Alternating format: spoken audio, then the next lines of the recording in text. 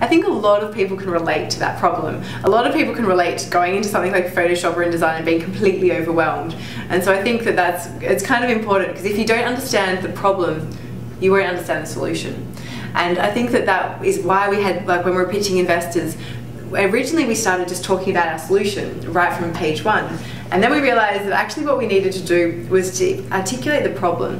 Why did this matter? Why did so many people care about it?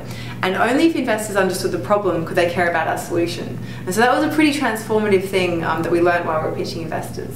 What you're telling us is that it's not just the information or the features or the benefits of a particular product that catch people's attention. It's the story of why that product exists.